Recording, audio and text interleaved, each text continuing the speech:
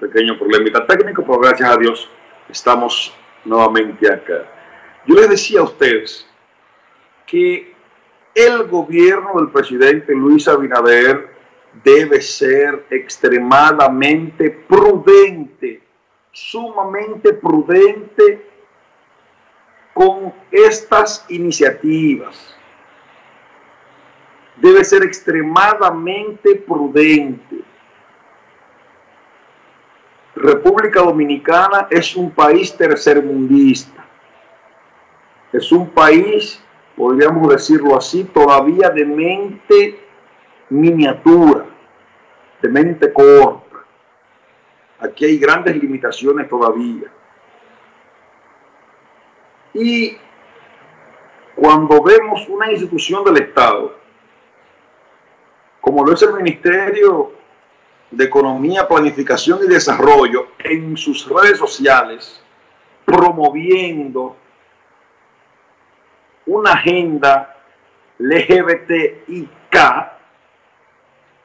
una agenda gay en el país, eso deja mucho que decir y es peligroso. Es altamente peligroso, amigas y amigos. Hay que tener mucha prudencia, porque esto puede hacerle un daño mortal al gobierno del presidente Luis Abinader. Creo que el presidente debe asumir una posición fuerte y hacer un llamado a estos funcionarios,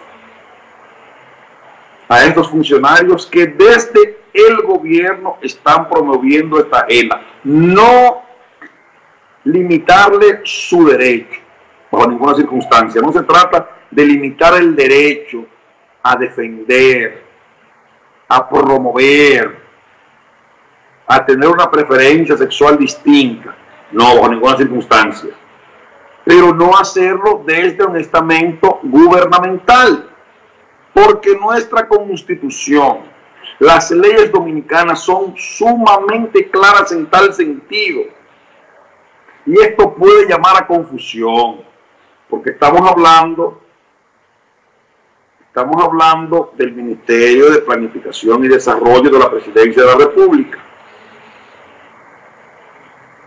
Ya dos viceministras han tocado el tema. La más reciente fue Olaya Dotel,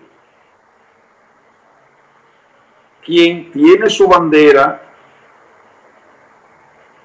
promoviendo la agenda gay en su despacho y anteriormente lo había hecho eh, la viceministra, no recuerdo el nombre actualmente. Eh, entonces, el gobierno debe tener mucha prudencia, porque esto puede hacer mucho daño. Y reitero, para que no me saquen fuera de contexto, respeto la preferencia sexual de cada quien, no, no discrimino a los homosexuales, a las lesbianas, a los travestis, a ese sector lo respeto. Y creo que todos debemos respetar la condición y la preferencia sexual de cada quien. Pero al gobierno no le conviene. Al gobierno no le conviene. El gobierno tiene que ser prudente en tal sentido. Y no debe permitir que utilicen estamentos del Estado para tales fines. No debe permitirlo. Esto puede hacerle un gran daño.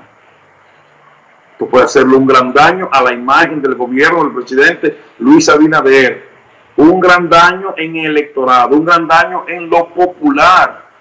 Reitero, estamos en un país tercermundista, un país que todavía tiene muchas limitaciones Aquí hay muchas limitaciones, para que ustedes lo sepan, amigas y amigos. Es bueno que se reflexione en tal sentido. Cambiamos radicalmente de tema. Farideh Raful. Farideh Raful ha sido sumamente criticada y cuestionada por la posición que ha asumido en estos últimos días con relación a los fondos asignados por el Senado, a lo que comúnmente nosotros conocemos como barrilito. Farideh Raful en la campaña electoral planteaba una cosa cuando aspiraba a senadora por el Distrito Nacional. Faride es una de las legisladoras más activas que mayor aceptación tiene y de las más queridas, podemos decirlo así, en la opinión pública y sobre todo dentro de su partido, el Partido Revolucionario Moderno, el PRM.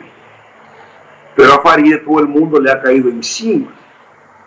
Porque ella, reitero en campaña, asumió una posición y ahora ha asumido otra.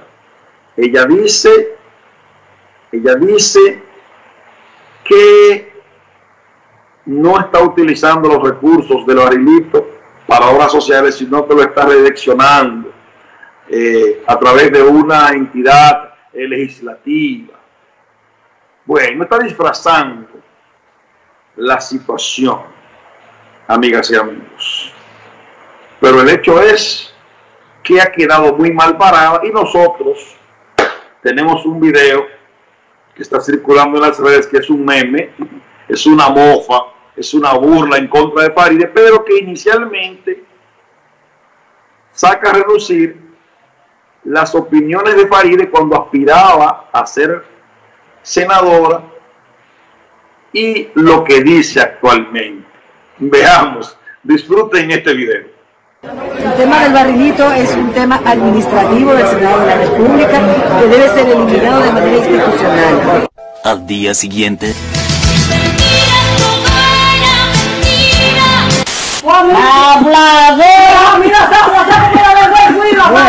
hablador. El tema del barrilito es un tema administrativo del Senado de la República que debe ser eliminado de manera institucional. Al día siguiente. Hablador. hablador. Bueno, esta nuestra querida nuestra querida Faride. Eh, las redes sociales han hecho mucho bien a la a la gente, a los seres humanos, pero también para algunos las redes han hecho mucho mal porque es que todo se queda ahí, todo se mantiene ahí. Y ahora todo es tan fácil. Tú conseguir una publicación de 6, 7, 8, de 10 años atrás es tan fácil, porque solamente tienes que colocar el título y en el Google y te aparece, te aparece todo lo concerniente eh, a esa información, a esa noticia. Entonces, qué pena que nuestra querida Faride esté pasando por tan mal momento y haya perdido la credibilidad en la opinión pública por esta situación.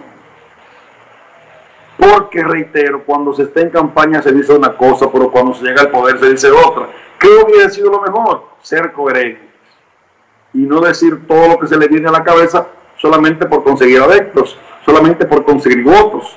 No tiene sentido. Al fin y al cabo eso es doble moral doble moral. Hace daño. Se pierde la credibilidad, amigas y amigos. Se pierde la credibilidad. Es una pena. Bueno, vamos a continuar con el espacio. Vamos con la eliminación de las canastas y los bonos navideños en el país. Es una iniciativa